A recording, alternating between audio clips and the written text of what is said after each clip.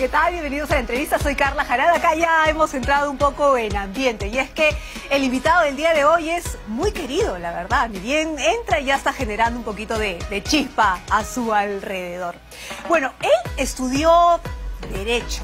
Así es, Derecho. Dos años estudió Derecho. ¿Qué aprendió de su paso por la universidad? Bueno, aprendió a jugar póker. Él nos lo va a contar más adelante. Bueno, desistió, no decidió no, no estudiar más derecho y decidió estudiar periodismo. Y se fue al periodismo deportivo. Él ya tenía una pasión, una pasión por el equipo de la U, ¿cierto? Y esa pasión lo llevó a otra pasión más, a intentar colarse a un partido de la U, donde conoció a Misterio. ¿Dónde lo llevó eso?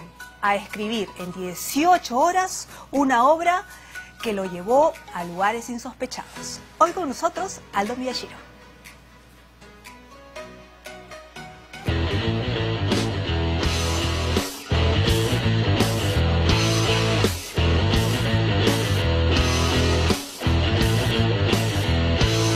Estoy soñando y no sé con qué. Yo quería escribir teatro, eso es lo que me provocó hacer cuando estaba confundido mientras buscaba cuál era mi vocación. Sobre la pared.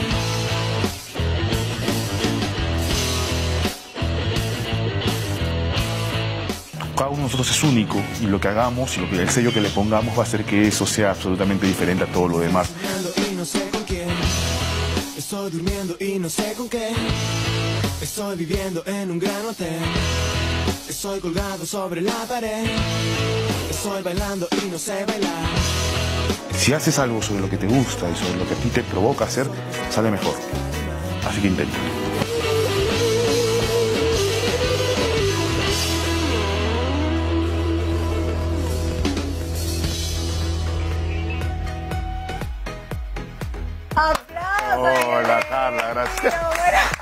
He visto imágenes de hace 20 kilos. Porque es La verdad que sí. flaquísimo, sí. Sí, sí, sí. Tú siempre has sido flaquito. Yo, yo pesaba, toda mi vida he pesado 60 kilos más o menos, ¿no? 60. Sino que dejé de fumar y comencé a comer y ¿Y ahora qué? estoy pesando 83 kilos. Pero tú haces deporte. Sí, sí, bueno, intento, intento hacer deporte un poquito, aunque sea un par de veces por semana. ¿Ya? Este, pero ya el peso está ahí, no pasa mucho. Bueno, los años. Sí, Los pues, años. 43 años ya, claro. No es mucho, está joven, está joven. Está joven, somos de misma promo. Está jovencísimo. Bueno, vamos a empezar. Mira, hemos hecho así una recopilación de datos desde que has empezado, que me da risa porque tú dices que has empezado tarde, pero en realidad has hecho varias cosas, ¿sabes? En poco tiempo. En poco ¿verdad? tiempo, En poco sí. tiempo, ¿no? Entonces, pero lo que más me llamó la atención es saber que has estudiado Derecho en la Católica. Sí. Bueno, entré, entré a la Católica, estuve- hice dos años de Derecho, después entré a la OSAT, hice dos años de Periodismo, después entré a la Escuela de Arte Dramático, hice dos años en la Escuela de Arte Dramático, nunca terminé nada en realidad. Pero cuando lo veo a distancia, con todo lo que hago ahora, todo me sirvió. O sea, Todo, todo, ¿no? me sirvió. O sea, me, me sirvió un poco la, la experiencia de la universidad, eh, el hecho de hacer periodismo para el programa de ahora. Trabajo con periodistas durante muchísimos años. Haces prensa, en realidad. De una u otra Eh, manera, eh, haces prensa. sí, o sea, trabajamos con, con la noticia del día también un poco, tenemos que también de vez en cuando entrevistar a alguien, entonces todo eso nos sirvió para el programa que hacemos hoy, ¿no? Ajá. Pero vamos a ir un poquito más atrás, porque Más. hemos encontrado unas fotitos ahí, a Ah, ver, este, vamos a compartir. Miren, qué Honduras. Era, y eso, que esa es una foto todavía en la que no estoy tan gordo, porque era más gordo aún de chivolo, ¿ah? Sí. ¿Tú te acuerdas de esa foto? Sí, sí me acuerdo de esa foto, sí me acuerdo de esa foto. Esa foto eh, es en la casa, la- bueno, en la que nací, en Pueblo Libre con Magdalena. Una foto con unos peluches grandazos que teníamos en la casa. Sí, sí me acuerdo. Era un- además una, una, una camisita celeste con unos carritos acá en costado, me acuerdo. Es la clásica camisita de base Sí, de la época, sí, ¿no? me acuerdo clarito de esa foto. Así es. Sí, ¿Cómo eras de chiquito? muy travieso. Muy travieso, ¿no? Sí, muy travieso. Sí, fue, era una especie de niño problema. O sea, siempre has sido un niño problema. No digo que ahora lo seas, pero digo, es que me da risa porque todo el mundo piensa que, que Aldo Miyashiro es súper extrovertido, todo el tiempo está feliz, No, no, no. todo el tiempo está así, haciendo bulla. Pero la, mira, qué linda foto. Es mi papi, pues. tu papi, mi papá, ¿no? sí, claro. Mi papá, este. chiqui- además de chivolazo. Es que hay que. ni un año y medio, dos años que Claro, porque te tiene cargado, Sí, me tiene colgando. cargado. Sí, sí, sí, claro. Claro, claro que sí. ¿Tu papá, Nisei? Sí, claro. Nisei, Sí. ¿no? Em, Ingeniero químico, además. Ingeniero químico. O sea, nada que ver con lo que hago. ¿verdad, no? Sí, nada o que sea, ver. tu papá chancón. Bueno, es que los Nisei se- Sí, tenían, sí, sí. tenían pinta de chancón. No pinta, tenían fama de chancón Sí, en esa sí, época, sí. ¿no? Ahora, tu papá se va a Japón un tiempo, ¿no? Se va a Japón un tiempo, este, y bueno, cuando yo tengo más o menos 13 años, mi papá fallece. Lo que es probablemente el evento más, más importante de mi vida, algo que todavía no, no, no he llegado a procesar, ¿no? No lo llegas a No, procesar no, no, no. todavía, Pues Yo, yo tengo 43 años y todavía no entiendo muy bien qué pasó. Es complicado, ¿no? ¿Cómo, Sí. ¿Cómo el tema del padre te puede generar tanto... Sí, sobre todo porque tenía la imagen, o sea, mi padre siempre fue un tipo muy justo, o sea, como una especie de, de- de- de ejemplo constante, a pesar de que éramos muy diferentes. Él era más bien tímido, muy, en ese sentido, quizás muy japonés, si quieres Claro, decirlo de ¿no? una manera, de hablar poco, de decir poco, y yo era todo lo contrario desde chico. De chico era una cosa que se movía por todos lados, corría, sudaba, o sea, malograba todo, ¿no? Entonces era, era una imagen muy fuerte para mí. Tenía esa mirada que te, o sea, de los lentes que se miraba hacia arriba. Sí, claro, sí, claro. Y además tenía, o sea, bastaba una mirada para yo detenerme. Es una cosa que no, que recuerdo muchísimo, a pesar de no ser severo ni nada por el estilo, ¿no? Ahora, alguna vez escuché en una entrevista que inclusive fue tan fregado que tú pensabas que eso de la muerte era como una conspiración que nunca había pasado y que lo veías inclusive en los vehículos pasar. Es que yo, yo de verdad pensaba que la muerte no existía, o, o al menos que no existía para. que era algo que la gente inventaba o lejano, porque nunca me había pasado ni siquiera que se muera alguien medianamente cercano a mí antes de mi papá. Entonces me parecía como un mito.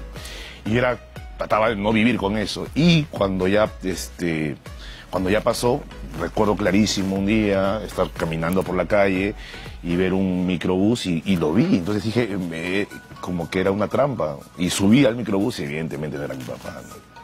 Y es así como que son el boicot que uno mismo se hace también a veces, ¿no? Para no olvidar. Sí, eso, claro, o sea, sí, claro. Ahora, em, cuando tú dices que no lo has superado es porque todavía le tienes miedo a la muerte, ¿no? ¿Sabes que no, no, no le tengo tanto miedo a la muerte? Tuya. No, no, no, no, le tengo Pero miedo. que alguien se sí, vaya. claro, claro. O sea, es- eh, he, sufrido y me, ha- costado mucho la, muerte de unos amigos, de una gente cercana. Y no solamente de amigos, sino también de alguna gente que admiro. eh, de alguna gente que, respeto o quiero. Me dolió muchísimo la partida de Daniel Peredo. O sea, con quien teníamos una relación este, muy extraña, bonita, o sea, de patas, pero que se escribían sobre todo todos los días por, por el ¿Jugaban WhatsApp. fútbol ustedes? Jugábamos for- fútbol. parte, pues, del fue, grupo. fue parte de Once Machos, o sea, le tengo miedo a esa muerte. Creo que a la, a la- a la propia no tanto como a la que de la gente la que uno quiere, ¿no? ¿no? Sí, A la sí. partida. Ahora, ¿por qué, ¿por qué hago toda esta, por qué te pregunto todo esto? Y es porque, claro, ya te lo han dicho seguramente, es que en tus obras, cuando tú escribes con esa fiereza que dices, ¿sigues escribiendo con fiereza o no? Eh, sí, sí, sí aparece. Sí, aparece, Menos que antes quizás. O sea, una cosa es cuando tienes 21 años y estás queriendo contar un montón de cosas y sacarte un montón de cosas del cuerpo seguramente. Y otra, vas creciendo de alguna manera, lamentablemente vas madurando también. Este, y, y- escribes de otra forma. Pero sí, está muy presente la muerte. Claro, está, En eh, todas. estás muy presente, ¿no? Porque hay una obra, una de las primeras, que se llama Función... Velorio. Velorio, ¿no? Sí. Y ahí está, pero presente. presente, Absolutamente ¿no? presente, ¿no? O sea, son cuatro actores que se que van a ser asesinados en una obra por pertenecer de alguna manera a diferentes minorías en el país, ¿no? Eh, y sí, o sea, es una obra que, que a mí me marcó, que me permitió, me permitió hacer lo que hago ahora, porque esa obra gana un, un premio del público en un festival, que es el Festival del Himna, luego gana el Premio Nacional de Dramaturgia. Siempre con Pietro. Ah, Pietro, bueno, es un gran amigo, lo, lo- lo quiero O muchísimo. sea, ¿es tu amigo o es tu actor fetiche? ¿Cómo es? Partimos de primero de ser amigos, ¿no? De, Claro. de- de ser amigos y, y- y- y, bueno, la- tengo también una gran admiración por él como actor, evidentemente. es un súper Es un buen monstruo, actor, sí. ¿no? Sí. Tiene, sí, alguna vez este, un director di- dice que es así como obseso, de, que llama a las 3 de la mañana y dice, ya encontré la forma. Sí, sí, sí, sí. Sí, pero es muy bueno. Y mm, Ok, muchos piensan que es misterio lo que te lleva a hacer el salto, pero es esto. Es Función Melorio, sí, Función Melorio que la hago en el 99, finales del 99 o 2000, es la obra que un poco me, me permite seguir escribiendo y seguir haciendo cosas, ¿no? Que Ahora, Roberto Ángeles es alguien muy importante en tu vida. es clave, es clave porque eh, yo, yo venía a estudiar en la Escuela de Arte Dramático y en eso entro al festival y necesitabas un asesor que tenía que ser un director reconocido, importante, y yo recién comenzaba a estudiar, no sabía a quién, a quién llamar. Y en eso Ruth Escudero, que era la, en ese momento la directora del himna, me dice, Roberto Ángeles ha llamado y ha dicho que quiere ser tu asesor. Y pensé que era una broma. Y dije, no, no puede ser, ¿cómo, cómo? Sí, y hablé con él, este, fue mi asesor en el montaje y, y después me ofreció una beca en su taller, cosa que yo le agradezco muchísimo, porque yo no hubiera podido pagar en esa época jamás el Cuéntame taller. cómo fue la llamada, por favor, porque tú sabes que no muchos conocen a Roberto Ángeles. Ah, sí, no, no da muchas entrevistas ni y habla. a ti te encanta imitarlo. ya, así que cuéntanos cómo fue esa llamada, favor. Yo me dijeron que lo llame. Ajá. Entonces este, me dijo, este el teléfono, me dice Roberto que lo llames, y yo lo llamo, este, me dijo, hola Aldo, ¿cómo estás? Eh, quisiera eh, que ser tu asesor en el... y le digo, sí, me, me reuní con él, me fui a Mucha Araña a buscarlo, y él me dijo, bueno, trabajaremos una asesoría. y comenzamos a, a- a- bueno, y ahí fue mi profesor, y de ahí, este, hasta ahora tenemos, este, no- no ya- no- nos escribimos, ¿no? O sea, nos- no, no, hablamos mucho por teléfono, quizás como debe- deberíamos, pero, pero le tengo muchísima gratitud y ha sido clave, absolutamente clave en todo lo que yo he podido después eh, intentar conseguir, ¿no? Claro, pero sin embargo, no le hiciste caso cuando te aconsejó no poner en escena misterio, ¿no? Ahí fue todo un rollo, porque, o sea, Roberto me, me decía cosas y yo en esa época estaba tan convencido de lo que, de lo que quería hacer que algunas cosas no, no- no le hacía caso a pesar de que era el asesor, ¿no? Y después, cuando escribí mi texto, el misterio se lo, se lo llevé y me dijo, no sé si de- deberías poner el texto en este momento, no sé si es la hora que después de haber ganado con Confusión Velorio y Los Hijos de los Perros, no sé si es la que corresponde. Y fue como, como fuerte para mí escuchar eso de, de alguien que admi- admiras tanto. Claro. Este, pero yo la hice, evidentemente, y después eh, creo que, que le gustó mucho, mucho a Roberto. Tu olfato. Ahora, entre esto que estamos hablando, tú estudias periodismo, ¿no es Sí, cierto? sí. Entre el derecho, entre llegar al El teatro. teatro, sí. ¿no? Eh, estudias periodismo y eso te lleva a trabajar en el periodismo deportivo. También, sí, ¿No? también un poquito. Entonces, y eso es lo que te lleva a conocer a Misterio. Sí, de alguna manera, sí. Bueno, yo iba al estadio muy seguido, Ya. ¿no? Pero, eh, y era, era bien chico todavía, era bien joven en ese momento en que, que es un poquito anterior, en realidad, eh, que yo consigo una chamba y comienzo a trabajar en una radio. Y yo tenía que ir a entrevistar a los jugadores, este, a, a los estadios, ¿no? A las canchas. Entonces, cuando, cuando yo usaba el carnet de prensa también para poder entrar a, La ver- clásica, a- era la claro, para poder entrar a ver mi equipo, pues que, que, que el carnet se iba de algo también. Entonces entraba y ahí Misterio, que era el referente de la barra, un día me, me- me dice, ¿ese carnet? Entonces, ah, no, mi, mi, mi, mi carnet del programa en que trabajo, que se llamaba Los Magníficos de la Noticia, Ah. Que era con, con los imitadores, Claro. con, ¿no?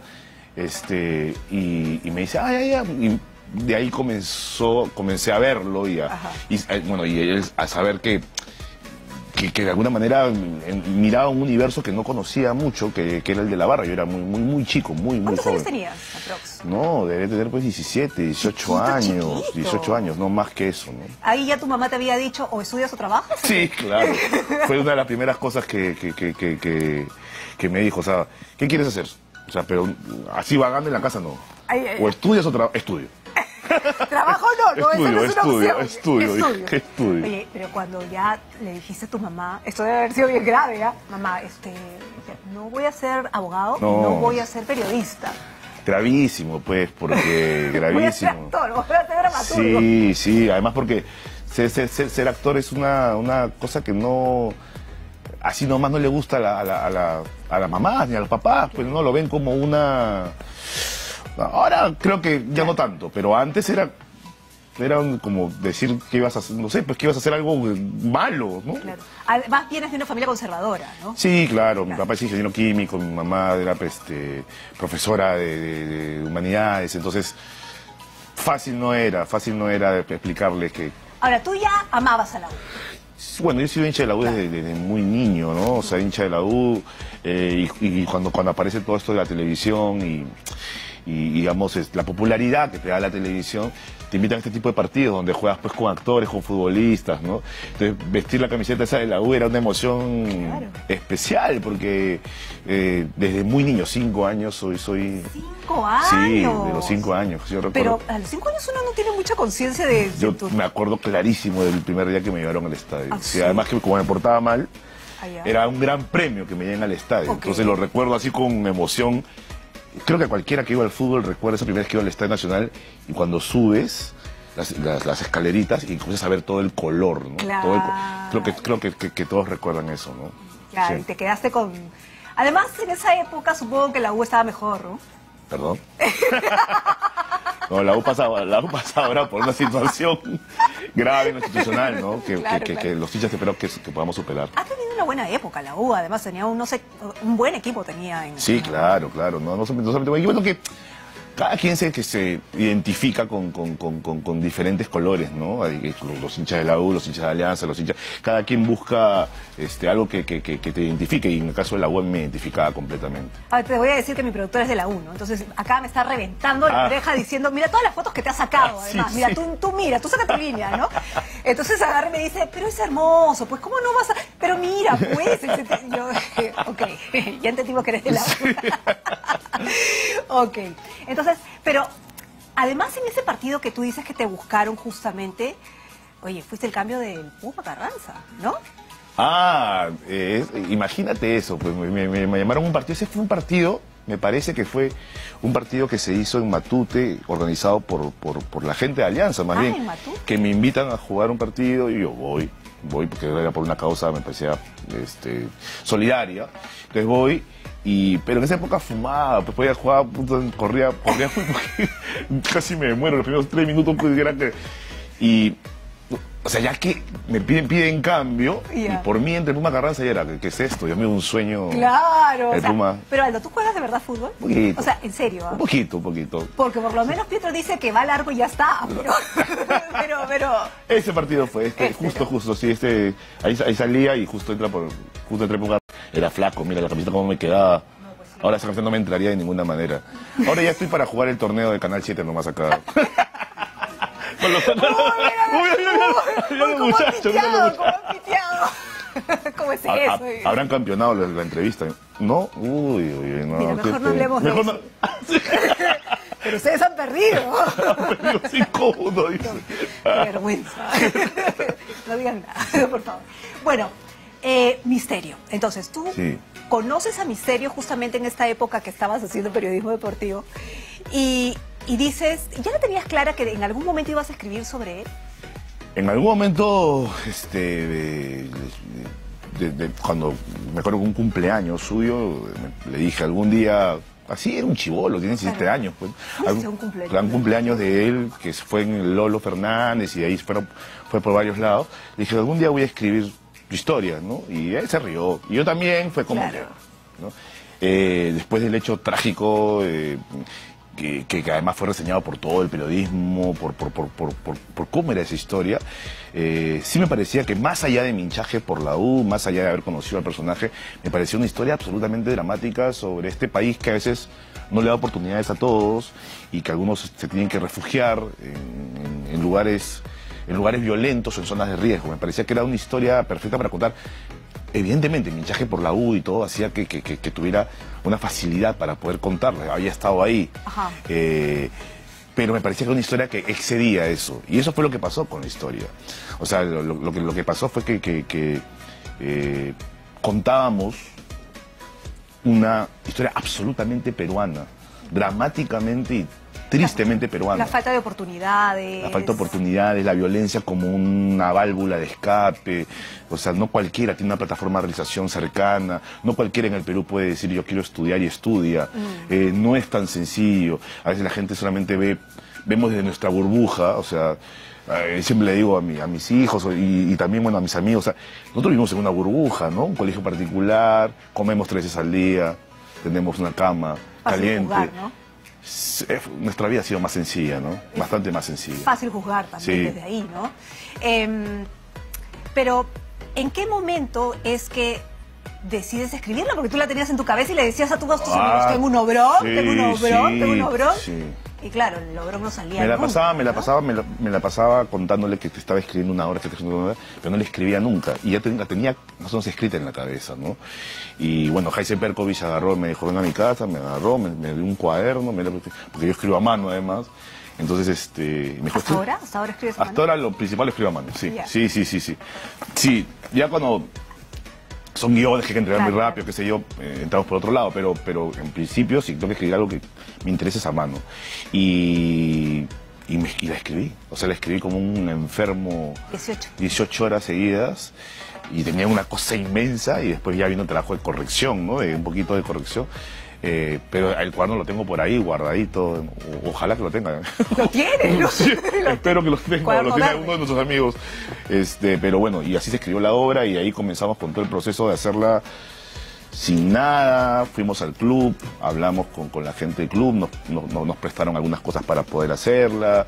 O sea, era una obra que se hizo Con el corazón. Sí, claro, sin un, sin un sol, donde además al comienzo fue un desastre económico porque era, era una obra rara para, para, la, para, digamos, la tradición de la dramaturgia peruana. Ahora, espérate un ratito porque nos tenemos que ir a la pausa. Ya. Yo sé que hasta ese momento ya había ganado premios, talentosísimo, sin ni un sol, ¿no?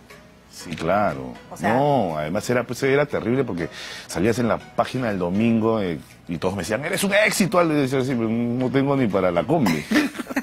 ok, vamos este, a la pausa y regresamos para seguir hablando con Carlos.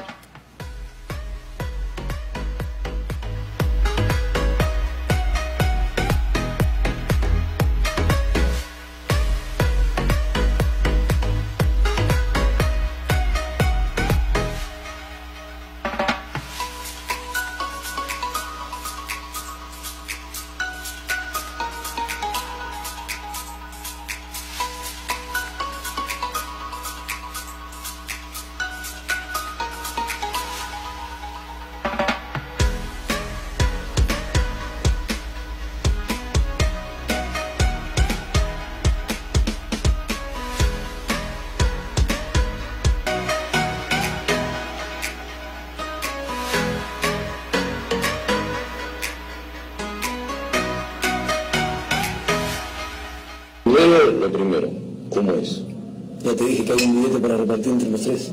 Ya, entonces todo bien. Entramos. Con estos dos piensa trabajar. Usted confía, señor Tamani. Su hija va a estar de vuelta.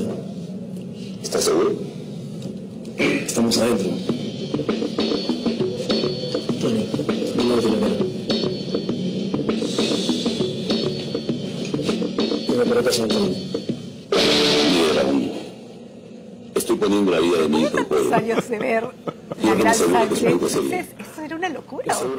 pero caló fuerte. Sí, sí, claro. Es, es el proyecto que, bueno, después de que Misterio pasa a televisión, de manera bien extraña, o sea, va, va un gerente del canal, ve la obra y nos dice, para hacer un piloto, hacemos un piloto. Eh, al comienzo nos dicen que no, después nos dicen que sí, porque mi condición era que esté el elenco original. Claro, es que te querían cambiar casi Todo el elenco, sí, sí. Yo le dije que no, no lo hacíamos entonces. Eh, no tenía ningún interés en ese momento hacer televisión. Y luego viene este proyecto, viene Lobos de Mar y luego viene La Gran Sangre, que era una locura. O sea, era tres héroes peruanos. Cuando lo presentamos fue como que en serio. Claro, o sea, héroes en el Perú. Héroes, ¿no? Antihéroes, además. Sí, ¿no? claro, además de unos héroes raros, ¿no? Este. Aceptaron y. Bueno, hicimos La Gran Sangre 1, 2, 3, 4, 25. película, este libro. Eh, no, fue una locura. Claro, pero Misterio también fue libro, fue el más vendido. Sí, libros. claro. Fue es que Misterio en, en principio es una obra Es- de teatro, ¿no? Entonces lo que claro. presentamos en la Feria del Libro del 2009 fue la obra de teatro, ¿no? Y fue, fue sí, fue una cosa brutal. Ahora, pero siempre hay referentes, ¿no? O sea, por ejemplo, en Misterio Caradura fue como que...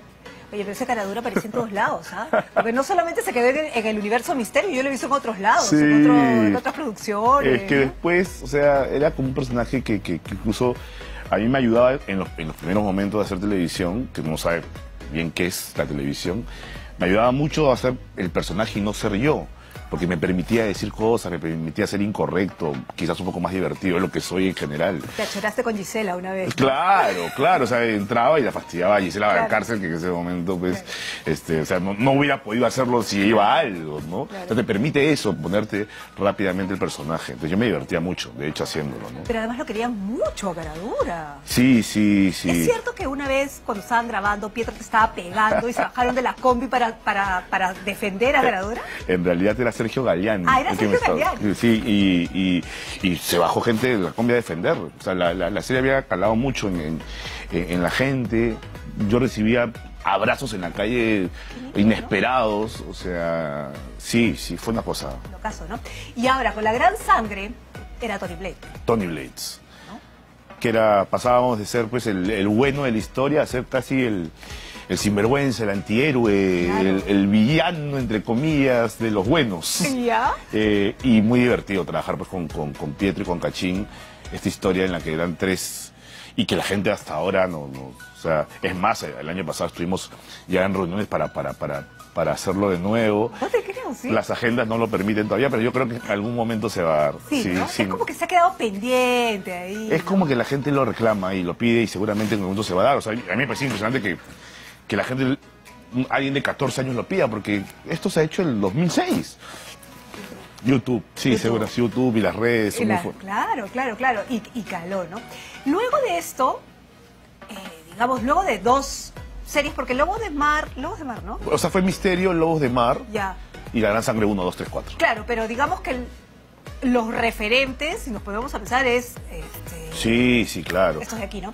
Por estas historias fuertes que tienen que ver también con el retrato de una realidad, ¿no? Sí. Eso, eso lo, lo, lo pones mucho, ¿no? Es como que... Es que no, no- o sea, no, no, no se puede escribir sin el contexto, ¿no? O sea, la gran sangre parte de, de un país como el nuestro con una inseguridad altísima desde el 2006 hasta hoy. Claro, porque- no hemos cambiado mucho. No, no, no, no, no. Esta realidad no ha cambiado mucho, que digamos. El año pasado se montó Misterio en la plaza, la dirigió Juan Carlos Fischer, y los problemas del Perú siguen siendo los mismos.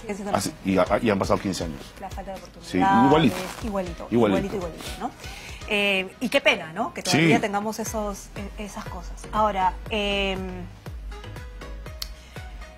de todas estas cosas que tú dices que, que has aprendido, ¿cómo hacer que el entretenimiento, para, para seguir avanzando con las cosas que has hecho, porque de aquí es como que un quiebre de Aldo, ¿no? O sea, ya comienzas a ser conductor. Sí, sí, de, de manera un poco casual, ¿ah? También, ¿no? Casual, sí, o sea, yo eh, después de estas series, sí, el cansancio era fortísimo, veníamos a hacer eh, cuatro de estas, dos, seis series seguidas. Y tú ya no querías más, ¿no? Tú Ya decías, ya- estaba un poco cansado, quería hacer otras cosas y, y viene, bueno, el señor este, Baro Hipster me llama y me dice, quiero, quiero que, que, que seas conductor. Aldo. Eso es lo que está esperando, con Tonito, por Sí, favor. me gustaría que seas conductor, programa. Y le digo, este, ah, bacán. Y me hicieron hacer un piloto de algo que no, no entendía muy bien. Programa concurso. Programa ¿no? concurso. Y le dije, "Mm, Vengan y sí, ¿no? no, le dije, no, no, la verdad no me veo en esto. Me dijo, bueno, entonces presenta algo, ¿no? Presentamos, llamamos a Beto. Lo había conocido a Beto en una. Me, una- me invitó alguna vez a una presentación de, de uno de sus libros, a leer uno de sus personajes. Yo lo llamé y le dije, ¿te interesaría hacer un piloto? No sé qué por acá. Hicimos un piloto de un programa que en esa época era una locura, que era infotainment, o sea, mezclar información y entretenimiento. Este, lo presentamos y nos dijeron que sí. Y, y comenzamos en el 2008 y bueno, en- con un proyecto que todo el mundo decía que no iba a durar, que ese tipo de género no, no es para televisión peruana y bueno, estamos, este, estamos en el año 12, ¿no? Claro, pero digamos que en el medio pasaron un montón de cosas. Ah, ¿no? sí, o sea, A claro. Beto lo sacan, lo invitan a salir. Nos, nos, bueno, lo sacan del 2, eh, de ahí yo me- nos vamos al 5, nos vamos a Panamericana, este, luego, bueno, vuelve a salir Beto, ya después cada uno... O sea, para no perder la costumbre. Sí, ¿no? sí, Para no perder la costumbre. pero lo que llamó mucho la atención, y creo que eso es lo que te picó también, porque tú eres bien picón, ¿no? sí, sí. sí, con el tiempo menos, pero Menos, ¿no? sí. Este, y, y que en el periódico, abras, abras el periódico y te digan, ¿cuánto tiempo, cu- cuántos días, no? Fue, no, la encuesta fue así. ¿Cuántos días le das a Aldo Miyashiro en televisión sin Beto Ortiz? Y le decía, uno, dos, tres, una semana, con respuesta. Con respuestas. Entonces yo leí eso y dije, ah, su madre. y bueno, para los amigos que pusieron la encuesta, les digo, me quedé 10 años. 10 años más, Sí. ¿no? Bien, ¿ah? O sea, Sí. toma ahí. en el mismo horario, además. en el mismo horario. Claro. Pero mm, luego fuiste cambiando. O Sí. sea, el contenido. Sí. Digo, porque cuando recién empezaron, el contenido se podría decir que era más fuertemente espectáculos y luego ya lo fuiste cambiando o no Todo se fue cambiando de manera muy, muy, muy, muy radical. O sea, con Beto primero comenzamos con una especie de reality, con una casa, no sabíamos muy bien una qué era. chica. Sí, Carla Casos. Ah, ¿ves? De ahí se volvió más periodístico, porque Beto es periodista, pues, ¿no? Este, de ahí cambió un poco, se fue más, hubo bastantes espectáculos. Después me quedo yo solo. Eh, entran, entra Mónica Cabrejos, entra en algún momento Vianda Rías Plata, Sandra Vergara. Y hace cuatro años o cinco años me junto con todo el equipo y le digo, ¿sabes qué? Ya no vamos a hacer espectáculos. Y todos me miraron como en un momento en que si no hacías espectáculos, hacían espectáculos los dominicales. ¿No? O sea, los dominicales este, que tenían que hacer política, hacían espectáculos Como todo porque se era. Sí. olvídate, ¿no? Le dije, ¿sabes qué? No, no, no, no, no quiero hacer esto porque me parece que no quiero hablar de gente que no hace nada, porque había un montón de gente que no hacía nada y que simplemente por un escándalo salía en televisión. Fue una decisión dura, Claro. complicada, porque sabes que finalmente tú trabajas y, y te miden, te miden la audiencia, qué sé yo. decir, ¿te atracaron? O sea, fue lo que fue lo que decidí. O sea, de hecho el rating bajó durante un, casi un mes, pero entró otro público, cambió el público y ahora hace cinco o seis años que hacemos esto sin, sin espectáculos, tranquilos. Invitamos a gente que hace teatro, invitamos a gente que hace danza, invitamos a gente que hace cine. Eso La es lo que he visto. Sí, la pasamos muy bien. O sea, tú no bailas, ¿no? O bueno, sí te he visto bailar, no. pero has hecho el esfuerzo, digamos, que has hecho el esfuerzo muy- de bailar. mu- Muy malo soy, muy malo bailando. Oye, pero has concursado y ya Sí, tienes sí. su, voz, su mérito. Pero a lo que voy es que he visto orquestas en tu. Hay orquestas, hay- o sea, hay todo. O sea, Hay escritores en escritores, eh, obra de teatro, candidatos presidenciales. Es un programa que, o sea, de hecho, eh, tratamos, tenemos una sola premisa y siempre la repito y la repito y la repito y es no le hagamos daño a nadie. Hagamos nuestro programita, pasémosla bien, divirtamos nosotros y ojalá que la gente se divierta. Ahora, hay algo que, que instauraste, que fue bien interesante. ¿Qué? La escuelita. sí. Oye, pero sí. todo el mundo quería ir a la escuelita. Sí. Yo, yo me acuerdo de González Izquierdo en la escuelita, haciendo este... Bueno, han ido de todo, ¿ah? han ido de todo. Era la idea que, bueno, que, que hablábamos como grupo de facilitar un concepto duro para un público grande y a veces habían cosas que, que eran difíciles de explicar y entonces teníamos al especialista, cuando nos sentábamos en la escuelita, hacíamos las preguntas de la manera más simple posible, nos divertíamos mucho y el concepto llegaba fácil a la gente. Eso era. Te preocupa por el contenido. Sí, claro.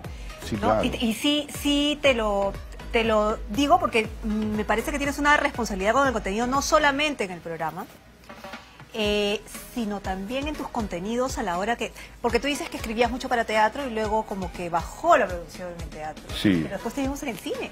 Sí, sí. Y hay algo muy interesante que hiciste eh, en el cine que tiene que ver con, con lo que pasaba en nuestro país, ¿no? Y creo que fue un poquito antes inclusive de toda esta onda y esa movida que tiene que ver con Atacados, Sí, claro. ¿no? Sí, ¿Qué claro. encontraste que te movió tanto? Porque además de película se movió mucho. Sí, ¿no? hicimos una, una campaña importante que post película, porque no, no solamente era la- en la película, sino post película teníamos, tuvimos reuniones con, por ejemplo, el Consejo Nacional de la Magistratura, donde hablábamos y explicábamos el concepto de la pela, donde decíamos que, que había que, hablamos con la gente de la policía, eh, con, la- con- con los policías que recibían a, a- a las mujeres que denuncian. Me parecía que era un tema muy importante. Eh, no se hablaba tanto en el 2015 como se habla ahora de este tema. Eh, y la película fue hecha y escrita con, con- con- sí, con muchísima pasión eh, y con muchísimas ganas de poner el tema sobre la mesa. Y, y creo que se consiguió, se habló mucho, ese ¿no? año sobre el tema, con, con- con críticas, con bueno, todo lo que tenía que venir, que me, me parece que está bien. Pero se habló del tema. Pero se habló del tema, que era importante, era importante hablar del tema. ¿no? Ahora, sé que fuiste, no sé si a colegios, pero sí a universidades. Fui un, fui montón de universidades, o sea, fui- hicimos un recorrido antes y después de la película y que hemos visitado por lo menos 30 universidades en las que hablábamos directamente con los chicos y en donde yo no esperaba que pase lo que pasaba, o sea, más allá del diálogo que teníamos, o sea, levantaba la mano una chica y decía, quiero decirle a todos mis compañeros que yo he sido agredida sexualmente a los 14 años. Y todo el mundo se quedaba en silencio en la sala y tú decías, el problema es más grave de lo que, de lo que creemos, el problema es gravísimo. Y ahora se ve, y ahora se siente con, con- con- con- todo lo que estamos viviendo. Han ¿no? pasado cuatro años. Cuatro años. La situación ha cambiado mucho, ¿sientes tú? Ha empeorado. Ha empeorado y empeorado, y ha empeorado porque, porque todavía no somos conscientes de que es importante que de alguna manera cambiemos. O sea, nosotros, yo he crecido en un barrio donde no podías llorar porque te hacía menos hombre, donde tenías que tener una postura eh, muy de macho. Y así crecí. Y ahora trato de, de intentar cambiar y corregirme. Creo que es el camino que tenemos que, que tenemos que buscar todos, ¿no? Sobre todo porque tienes hijos, tienes cuatro. ¿no? Sí, claro. No, y, y- y no solamente por eso, sino más allá de que tuviera o no tuviese hijos, creo que lo que nosotros esperamos todos es tener un mejor país en algún momento, un Y país más amable, ¿no? Y dejarlo más amable para el resto, ¿no? Y para las mujeres, ¿no? Sí, pero para que los hombres también aprendan. Correcto, A correcto, porque o sea, yo lo, que salía un poco en estas charlas es que nosotros los hombres podemos salir a la calle en cualquier momento, en cualquier lugar, caminamos, no pasa nada, no tienes mucho miedo en la calle, o sea, si yo, si yo estoy caminando y veo a cinco patas tomando, yo cruzo por ahí, no pasa nada. Una mujer no. nada. Una mujer no, una mujer tiene que pensar por dónde tiene que caminar, qué taxi toma, en qué lugar toma, eh, qué, qué dice, qué no dice, está siempre en peligro. Inclusive en la televisión, ¿no? Es más juzgada. Sí, claro, por supuesto, por supuesto. ¿Te llevó eso también a ser 11 machos? Sí, Once Machos era, ¿sabes? Te voy a ser absolutamente honesto. Once Machos es una película que la hice un poco, tenía una conversación con los amigos. ¿Cuándo hacemos algo juntos? Todos juntos. Que todos andan juntos. Sí, es impresionante. sí, todos juntos y, y ahí comenzó un poco el juego. Y, a- y aparte de eso también quería hacer una película pues que, que, que puede- ahí está Carlito Gasol. Lo tienes en la foto acá, ahí está Carlito Gasol. Es mi padrino. Sí, claro. O sea, que, que, que, que es una película en la que también puedan ver mis hijos, porque acá no la pueden ver todavía, y todo lo que hemos hecho no se la pueden ver, en cambio esta sí la podían ver todos, ¿no? Y nos divertimos mucho, y nos gusta el fútbol, además. Hacer una película, entonces una película comercial con los amigos de toda la vida, ¿no? Ahora, ahora que dices comercial, a eso es lo que quería llegar. Después de que tú has pasado por varias partes, digamos, de la televisión, el teatro, este, has escrito eh, libros y qué sé yo, ¿cómo hacemos? Porque se habla mucho y se debate mucho del tema de la televisión que por qué no más, eh, eh, digamos, televisión cultural y que no sé qué. Y creo que las mismas personas que critican son las mismas que te cambian de canal, ¿no? Porque acá estamos, señores. En el canal 7 hacemos eh, cultura. Pero por supuesto hay muy buenos programas acá. No, y, pero nos cambian de canal. Sí, claro. Eso es lo que voy, ¿no? Entonces prefieren otras cosas. Entonces a veces dices, bueno, eh, ¿dónde estamos, no? Entonces, partiendo de lo que, que tú has pasado por varias cosas y has hecho entretenimiento, cultura y qué sé yo, ¿dónde está el kit del asunto? O sea, ¿dónde puedes engranar a todos? Porque a veces haces cultura, pero es aburrido. Mm. Entonces nadie te ve. ¿no? Haces entretenimiento, pero no necesariamente tiene que ser basura. O sea, ¿cómo, cómo engranamos, no? jugando, jugando con, con- con- con la mayor este, inteligencia posible de poder poner contenidos que quizás no sean tan comerciales, pero revestirlos de una manera bonita, agradable, darles una buena producción. En el programa entrevistamos a gente que, que seguramente no tendría oportunidad de ser entrevistada de ninguna manera en televisión comercial abierta. Este, y lo hacemos. Es- Y funciona. Y funciona, pero sí, le explicamos que tenemos que hacer tal cosa, que tienen que venir eh, para divertirse también, para que la gente los vea. Porque hay Eh, algunos que todavía no entienden que, que no. Claro, hay que hacerlo, hay que hacerlo. Y, y- y de hecho, y en las películas también comerciales, por ejemplo, grandes, en, en Once Machos hablamos de la solidaridad, hablamos de, de- de- de- del barrio que hemos perdido, hablamos de, que cuando te, te juntas y cuando eres grupo y cuando estás todos mirando un solo objetivo, se pueden conseguir cosas grandes. O sea, de eso hablamos y que lo- a los chicos eso ojalá los inspire. La película puede estar bien, mal, la pueden criticar, es otro rollo.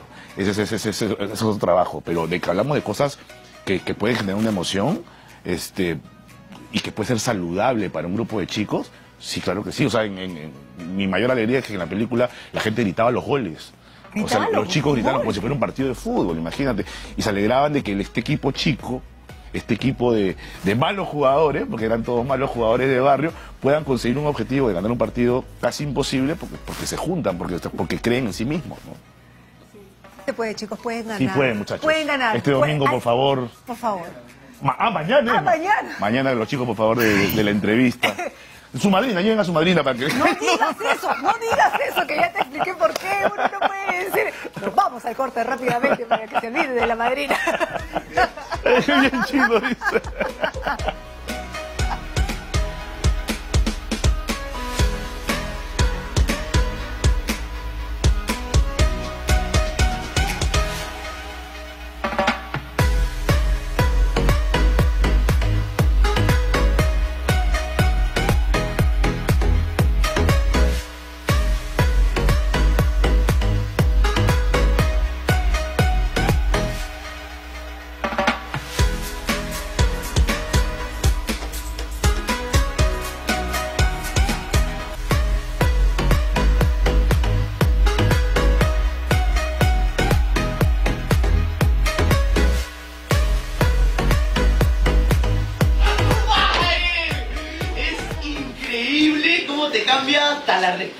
Cuando estás en la naturaleza. Acá está la cancha de volei. Checa. Pelota. Acá hay pelota, ven. Y acá hay un cuarto con dos camas y el otro con una cama. Cierra la puerta. Oye, ¿invitaste a alguien más a la casa? A esta casa no entra nadie más. Hola. estamos viendo ahora es vóley. No es que haya cambiado de deporte el señor Bianchi. No, no, no, no, no, pero es su nueva obra de Julieta, ¿no? Bueno, en el colegio también jugaba vóley, ¿eh? me, me Ah, gu- también, me gusta el vóley, es un deporte bien paja. Sí. Bueno, esto es una obra que se llama Vóley, es una, en realidad es una película de Martín Piroñaski, que fue un éxito regional, y que cuando la vi yo me maté de risa, mucho, o sea, mucho, o sea, me reía en el avión solo, y la gente me miraba. Este, dije, deberíamos adaptarla a teatro. O sea, son circunstancias de estos Son cinco chicos que se van eh, cuando tienes veintitantos años y te vas a, ¿no? a un fin de semana y todo lo que pasa en esas casas ese fin de semana, de eso trata. Pero habla sobre el amor. Habla sobre lo complicado que es para los seres humanos establecer relaciones, ¿no? Desde que a veces te enamoras de la persona imposible a la que nunca te va a hacer caso. Ah, o no, no te das cuenta que hay alguien que te ama con pasión y locura y, que es la persona te- ideal y dices, no, muy bueno ese chico. Y dices la chica, ¿sabes? Muy bueno, no me gusta, demasiado bueno. Eh, Y, y- y de todo eso habla y la gente se ríe muchísimo este, sobre la monogamia. En fin, eh, hemos tenido unas, unas funciones muy especiales ahora con la sala, agradecer a la gente, la sala absolutamente llena. Y estamos en el Teatro Julieta de jueves a domingo a las 8 de la noche. Ahora, ¿te ha pasado a ti también en algún momento que has, sido, que has tenido problemas para Por relacionarte? supuesto. me ha pasado, me ha pasado siempre. Pero por supuesto que sí, claro, claro. Y justo estábamos hablando, yo no sé si él lo va a querer contar en, en- en público, ¿no? A ver, sí. Pues estábamos hablando acá, pues ustedes saben que él tiene una afición muy grande que es el póker, ¿no? Y yo lo decía al principio, él, él fue a la universidad y aprendió a, a- a jugar póker, pero de manera profesional, ¿no? Ay, Lo que más aprendí en la católica fue a jugar póker. Mientras todos estaban viendo todos lados, me ponía a jugar póker en la cafetería. Pero bueno, luego, luego comencé a jugar póker. Ahora- ya no juego, no, no da el tiempo, no dan las horas. Este, pero jugaba mucho y bueno, le estaba contando en el corte a Carla. estaba jugando un día a póker y me llama Erika y me dice, ¿dónde estás? Y le digo, ah, en la oficina, le digo. Ahí que tenía unos guiones. Y me dice, ah, qué linda esta oficina, bastante- tiene bastantes luces. Y yo, ¿por qué? Porque estoy detrás de ti. Me dice, y, está- y me ha ido a buscar al casino. Me tuve, me acuerdo que ese día estaba jugando con César Ritter. Me Ah, Timbero también. Ahí jugábamos en esa época, ya, no, ya tampoco juega. Me he tenido que parar y salir, pero... Dice, ya no tengo ganas de jugar, muchachos. Ya me quiero ir. Qué aburrido juegan ustedes. Y me fui... y está, sí, sí, me acuerdo clarísimo ese Ahora, momento. escúchame, pero jugando póker tú has podido comprar la cuota inicial, o sea, has podido pagar la cuota claro, de sí, tu... claro. Gané un, gané un torneo un- y eso, con eso pagué la cuota inicial de la casa inmediatamente. Y sí. te la ganaste a Erika. Sí, sí, no, bueno, ya me, deja- me dejó jugar un poquito más. Me dejó jugar un poquito más. Este, pero ahora, por ejemplo, que, que, que sería un momento ideal para jugar, el tiempo y las grabaciones no me han permitido seguir jugando hace ya bastante tiempo, ¿no? Tres, cuatro años que no juego. Ahora, volvamos a la obra. Sí. Pero quiero volver al Julieta. Porque por ahí me han contado que tú eres el mecenas. El no, no, no. Lo que pasa es que eh, eh, estamos siendo una especie de administradores, pero, la, pero Jimena Arroyo es este quien está, eh, digamos, haciendo toda la programación con un gran esfuerzo, con Lucía Castro, con un grupo de gente que, de, amigos que, han hecho una gran programación. A mí me toca hacer un, un, montaje. ¿no? En todo lo que me, yo dentro creen que yo soy el men, pero no, no. Acá hay un esfuerzo inmenso de, Jimena, que es una gran gestora cultural y que ha logrado tener una programación a la altura este año, ¿no? Pero ¿cómo funciona? Porque el dato que me llegó es que compraron el Julieta, ¿no? El Julieta es un espacio que estaba abandonado, entonces eh, pues por un tema de gestión hemos entrado un poco a hacer, cosas en el Julieta, en una figura mixta, digamos, ¿no? Pero estamos ahí trabajando ya todo este año. Han habido montajes muy interesantes, muy importantes. Los vetados, sobre todo. Y eso es bien interesante. Varios. ¿ah? O sea, el, extraño caso de Jack Black, esta obra donde estaba Manuel Gol, Eli Reate, este, eh, Juergues de Roberto Ángeles. Montajes que no habían tenido, no habían encontrado un lugar, han encontrado un lugar este, en el Julieta. Eh, donde es una propuesta para, para, yo creo, lo que he hecho yo con Boli es tratar de buscar un público nuevo. El público que va al teatro, a todos los teatros, bienvenido está, pero me parece que hay que tratar de buscar público nuevo de teatro, eh, público joven que le parece que el teatro es una experiencia aburrida, que le parece el teatro como una cosa muy lejana, muy solemne. Hay que decirles que no, que el teatro es una experiencia maravillosa donde el actor está a, un metro y medio de ti, sudando, viviendo, que, es una experiencia este, única, imposible si es que el actor no va a diferencia del cine, claro. En el cine tú es una película y el actor puede haber muerto hace 10 años. En el teatro no, ¿no? ¿Qué obra fue la que viste que te impactó tanto y dijiste, me gusta el teatro? Yo veía mucho teatro y me gustaba mucho. Vi eh, El Día de la Luna de Eduardo Lancén, que me encantó. Eh, números reales de Rafael Dumet, eh, que me encantó. Pero jamás en esa época imaginé que yo iba a hacer teatro, ¿no? O sea, me gustaba ver la obra, decía, qué impresionante, qué, qué capos son. Veía las obras de Roberto, este, el Hamlet de Roberto, eh, Ecus de Roberto Ángeles, ¿no? Pero no imaginé hacer teatro. Después ya, con el tiempo, eh, fue que apareció una oportunidad de hacer, pero antes de eso no, no. Te he visto también de malo de malo, villano, villano, haciéndole la vida imposible a Yango. ¿Cómo es eso posible? Sí, no, fue muy paja cuando me llamaron para, para eso, porque era una, gran oportunidad. De hecho, estos años, este año me, ha tocado trabajar con Ricardo Maldonado en Calichín, con Aldo, con Aldo Salvini en, en, Yango, este, bueno, con, con, Michelle Alexander en Señores Papis, que también es una experiencia muy bacán, ahora con Fran Pérez Harlan, entonces estoy muy agradecido por esa oportunidad. Pero tú no te puedes quedar quieto, ¿es cierto que quieres dirigir un equipo de fútbol? Estamos haciendo, estamos haciendo un equipo de fútbol y nos movemos por todo, por, toda la, por todo el país en realidad y estamos jugando con varios equipos que nos citan.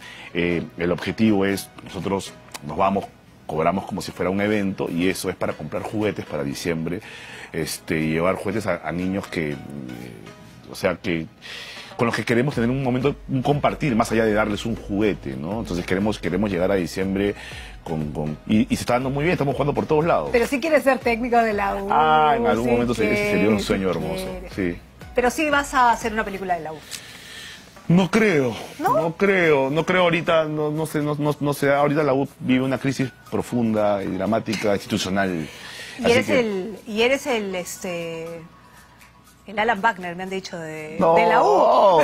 No, no, no, no. Estás juntando ahí perro, no, y gato. Eh. hemos hacer, pero ahora la situación está muy complicada y, vamos a esperar, vamos a esperar, porque hay muchas... Nicolás Salazar, que saca este, referente de, prensa, también es muy... juega mal, me están diciendo. ¿Juega mal? ¿Nicolás juega mal? ¿Delantero es? Del equipo, ¿no? Voy a... Desastre. Desastre. No puede ser que no, pues no eso lo de Nicolás, no lo quemen. conductor, no te pases.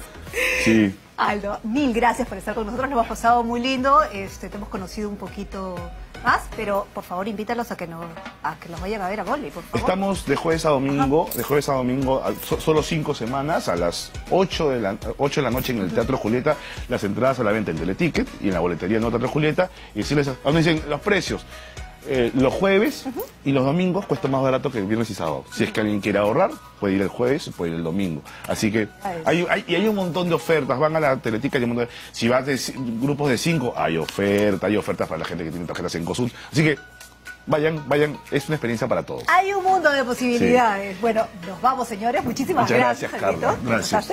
Por Gracias. la paciencia. No. Porque acá, aunque piensen que el señor es extrovertido, siéntate. El señor es extrovertido, ¿no? Tiene también su lado, su lado introvertido. Chao. Pues,